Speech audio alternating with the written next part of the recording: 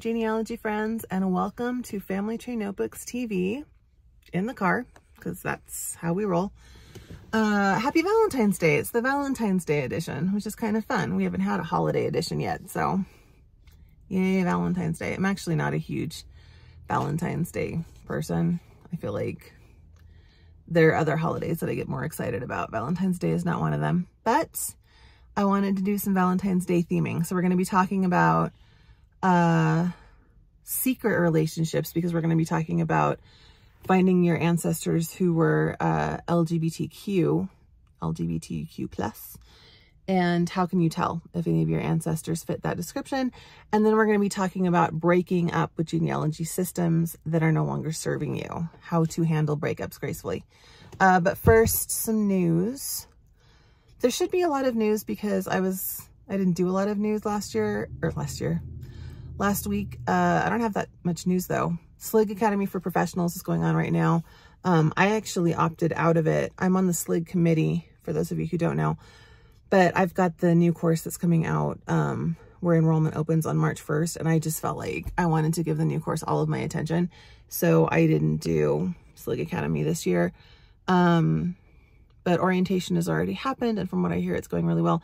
It's actually the last year that it's going to be called SLIG Academy for Professionals we're switching it to be called um, SLIG Spring Virtual. Right now there's a SLIG Fall Virtual already, and then this is going to be SLIG Spring Virtual so that we can have more classes that are not just designed for people who are like in the field of genealogy. Um, but also, I think people hear Academy for Professionals and they think that it's like you have to know all the things before you can take these classes, which again, if you knew it, you would be taking the classes. But anyway, this is our last SLIG Academy for Professionals, but that's because in 2024, it's going to be SLIG Spring Virtual. Uh, Roots Tech, of course, is coming up really fast. I finally downloaded the app. The app is available. And I found out, um, so I've told you guys before that if you're in person, then you buy a ticket. If you're virtual, you just have to register and it's free. So the the Roots Tech app, first I was confused about it too because I got the Roots Tech app, I downloaded it, and then it wouldn't let me sign in.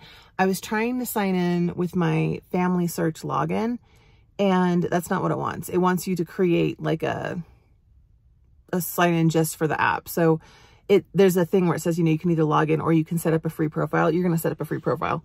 Um, it took me more than a day to figure out that that's what they wanted. And then once you do that, you're just in. You don't have to say like, you don't have to prove that you bought a ticket or anything like that. So anybody can get the app and get into it. The thing that um, is key about that is that you can see the sessions. You open up the session description and a lot of the sessions have handouts. You can see the handout in the app. Now you can't download the app, or at least it's not like readily apparent to me that you can download the app really easily, which makes sense because people, um, pay for that. Like we buy flash drives with all of the uh, handouts on it, but you can see them. So you can go on, even if you're not going to Roots Tech right now, look at all the sessions. And if you've got a session that you're interested in, you can click on it and see if there's a handout and you can like read through the notes and stuff. I think that's gold and it's free to everybody right now. So um, go and check that out. Uh, last bit of news, finding your roots tonight. I'm like so excited. I'm such a nerd.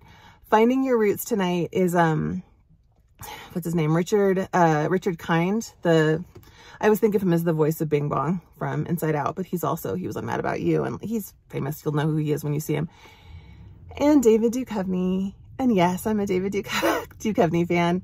I was the perfect age to be into X-Files when it was all the rage. Um, I'm quite the X-Files nerd. I'm quite the Finding Your Roots nerd. I am very excited about tonight. So we're going to end our news on a happy note because tonight I will be spending my Valentine's Day with Dr. Henry Louis Gates and David Duchovny and my husband. Okay, sorry. I'm trying to stabilize the phone more. I feel like I've been really shaky today. I have um, it's a medical condition that causes tremors in my hands, and I'm shakier this week than I think I normally am. I have a tripod that I can use to record things like this. I just always forget to bring it. So I'm sorry for all the shaking. And I think the video might look a little bit different, but that's because I'm now using the sun visor to stabilize myself. Um, okay, so let's talk about our top five quick five tips or whatever for the week. Uh, I wanted to talk about how do you figure out if your ancestors were LGBTQ, if the reason that they, you know, you look at their records and you're like, oh, they were, they were alone their whole lives. They were never married. Is it a maiden aunt? You know, did your uncle have a series of roommates? Was this a close friendship or is this a relationship that was not um, socially acceptable, maybe not legal? So therefore there aren't the kind of records that we expect to see when we're talking about people who are in a couplehood, you know, where we see marriage records or divorce records or people are listed on censuses as being husband and wife. It's a lot harder when you're talking about a relationship that may have been the same kind of relationship, but um, socially it needed to be masked in a different way. So we're going to do five quick tips. Um, so the number one way to find out if your ancestor was uh, part of the LGBTQ community is to look at their personal effects, their correspondence, diaries, things that they have written in scrapbooks or on photos. Those are going to be your best clue because they're the most personal. And some people were very open in their own correspondence and their own things about their lifestyle and their um, relationships and the people that were important to them. And some people, it may be a little more hidden. I will just tell you, you have to remember that you always have to look at things through the, the lens of historical context. So not only in the sense of, okay, you know, let's read between the lines and, oh, I think they were secretly in love, but sometimes people are very affectionate with each other in words or in photographs and things like that. And it's not because it was a romantic connection. It was just because socially it was acceptable to show that kind of affection between people. Um, so, you know, don't, don't jump to conclusions, but check out personal correspondence first.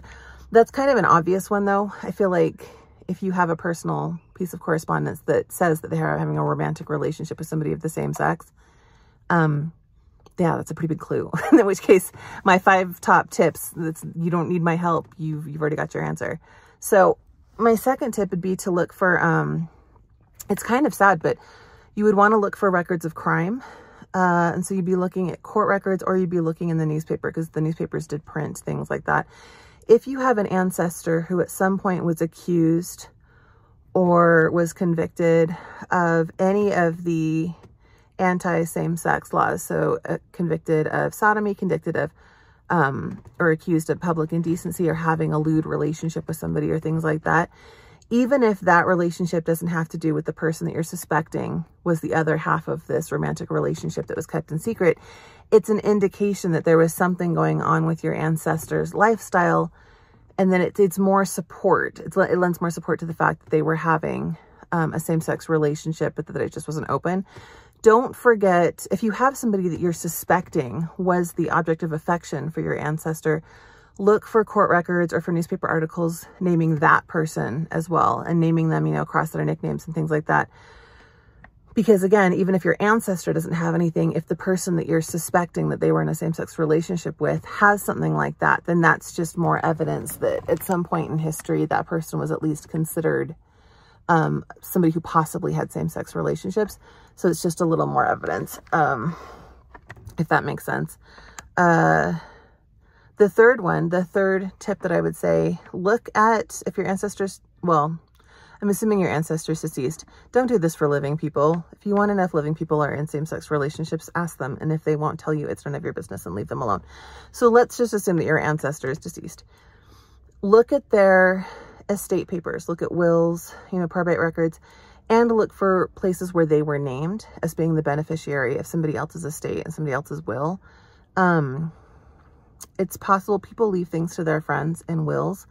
But again, that's a big, if somebody leaves everything to somebody who is a friend, somebody who was a long-time roommate, that's an indication that that relationship was very important to that person and maybe it was very important to them in a romantic way. So again, it's another piece of evidence. Do not only look for records that um, were created and executed, you know, in the middle of their life. Look for end-of-life records.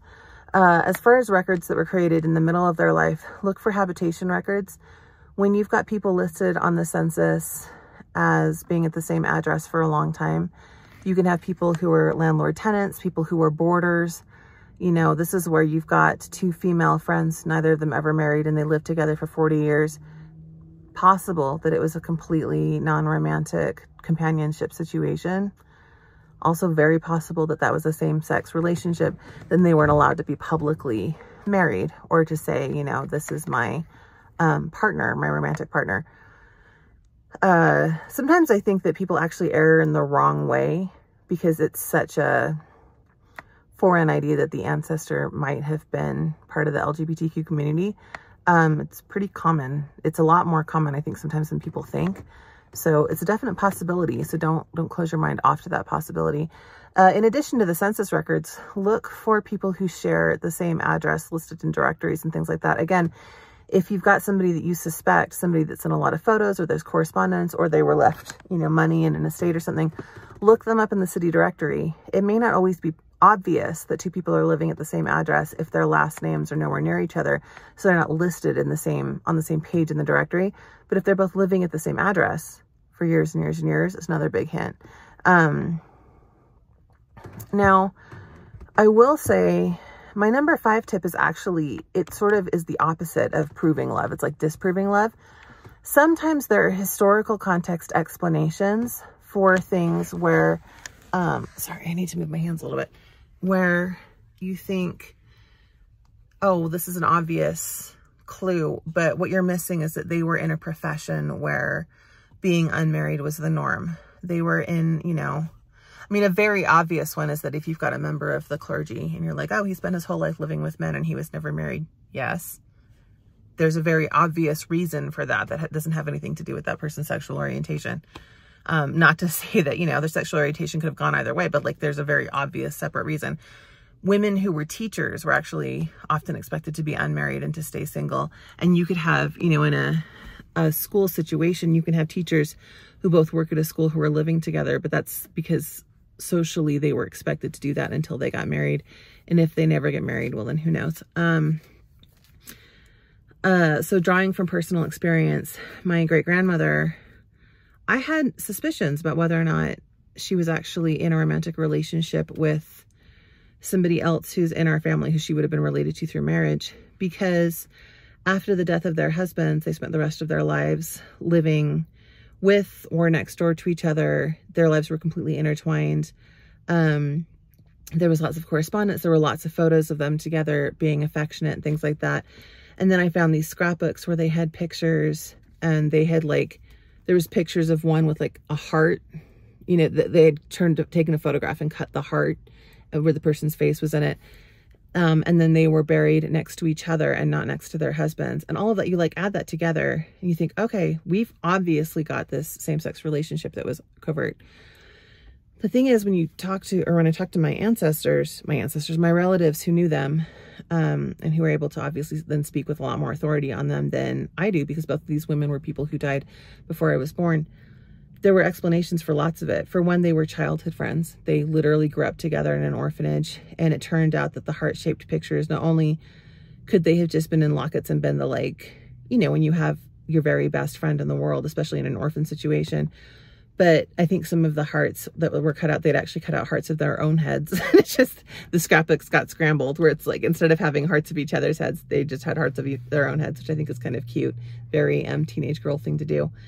They financially, there were lots of reasons for them to stay living together and to raise their kids the way they did. It was easier to raise them all together once, well, yeah, once husbands were dead because that beat just trying to do it single parent.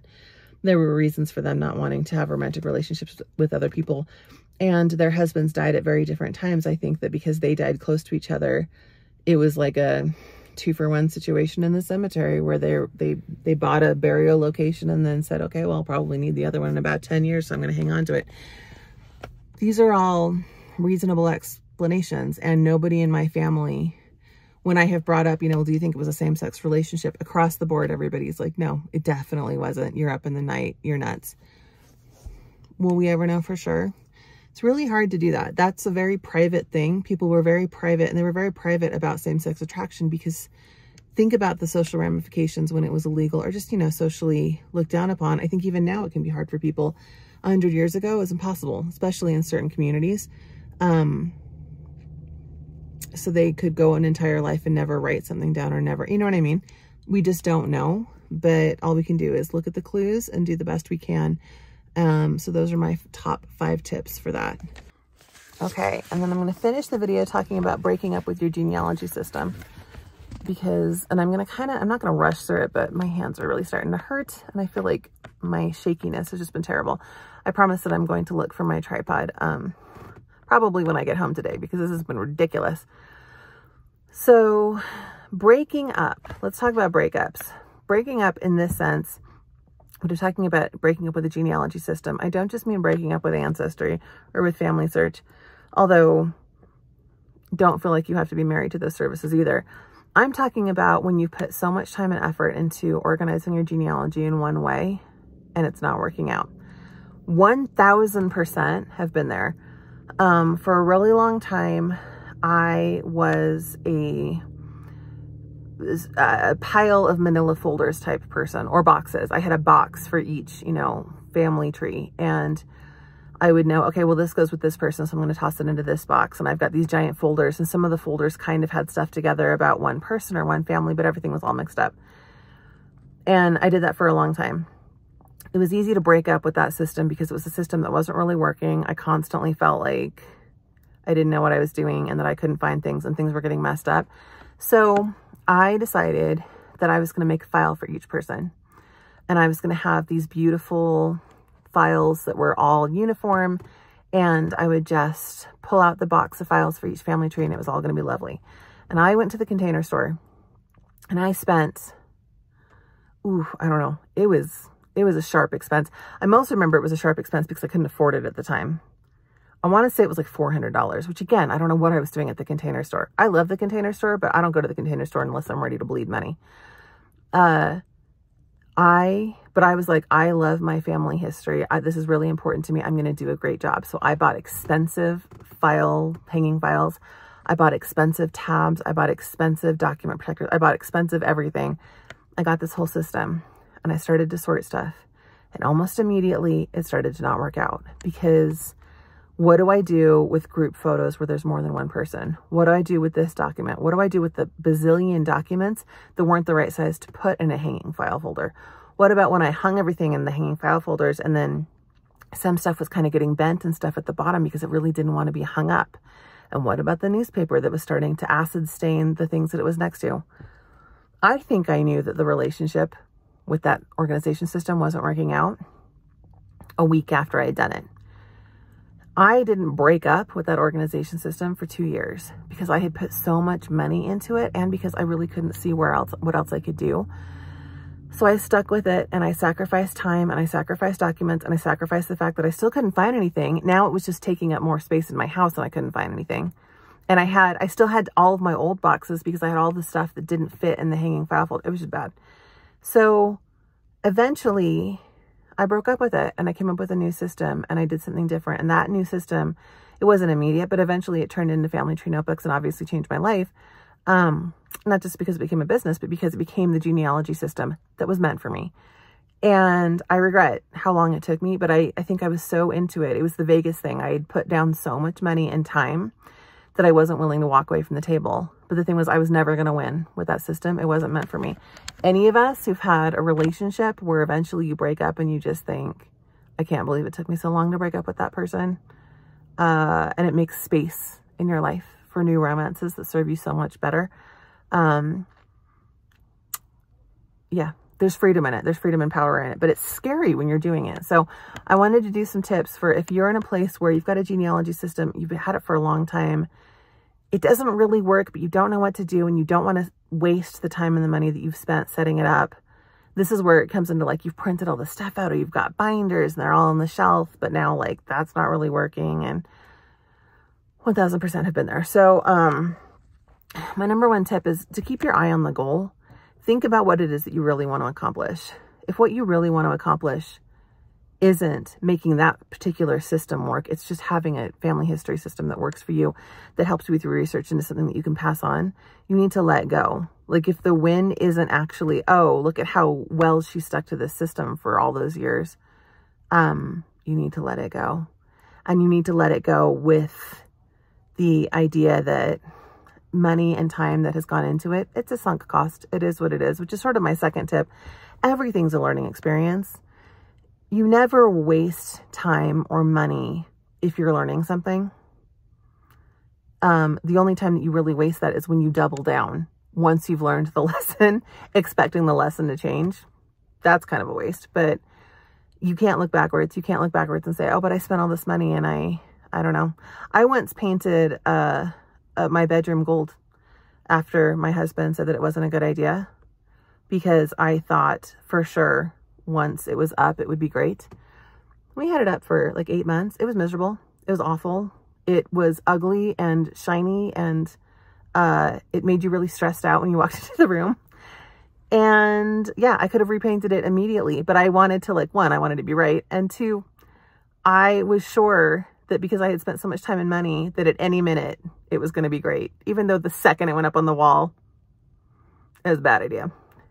It was a bad gold. If you're wondering, if you're thinking, oh, I think a gold wall sounds nice. Yeah, so did I. This was not it. This was not no, this was very bad. This was, I turned our bedroom into cheap jewelry. Anyways, um, another tip is as you start moving into a new system or experimenting with potential new partners, potential new systems, new ideas for organizations, celebrate every single win you've got because that'll make you feel better and it'll move your brain away from thinking about like these imaginary losses that you imagine that you have because your other system didn't work out. So the next time you find something, the next time you've got to organize something or file something and you know right where to put it and you put it there and it's done, just make sure that you recognize those moments because they counterbalance the other ones. Um, make sure that you don't have to get rid of everything if you've got an organization system that doesn't serve you. Um, so you can keep the parts that you like, but make sure that you're keeping them only if they're truly serving you and they're moving you closer to that future goal. Because again, I don't want you to trick yourself into keeping something because you think, oh, I like that, so I can keep that. But low key, it's because you spent money on it and you're just kind of, you're not sure how to fix it, but it's not really working for you. So keep the stuff you love that serves you. Other than that, you got to let it go. And then finally, I mean, I think this is true with any breakup. Part of getting through a breakup is to find people who support you as you move forward onto bigger and better things. Um, in this case, it would be finding people who can give you ideas about how to solve the problems that you've got and how to change things in the future, or people who are using a different system that you're interested in. Um, I mean, again, this is all like this light plug, obviously, for Family Tree Notebooks, but only because that's where I ended up. So if you were going in that direction, then the community of people who are using Family Tree Notebooks pages are going to be helpful to you. But there's also this great Facebook group called um, Organized Genealogy, Genealogy Organized. I think it's Organized Genealogy, Organized Genealogist. I get all sorts of tips from that group, and that group is great about problem solving people who are having organization struggles. Nobody is going to tear you down for having a failed relationship with an organizational system. They're just going to help you keep your eye on the prize and move forward with your head up and treat everything as a learning experience. And those are the people that you want to have in your life because those are the people that make you survive breakups.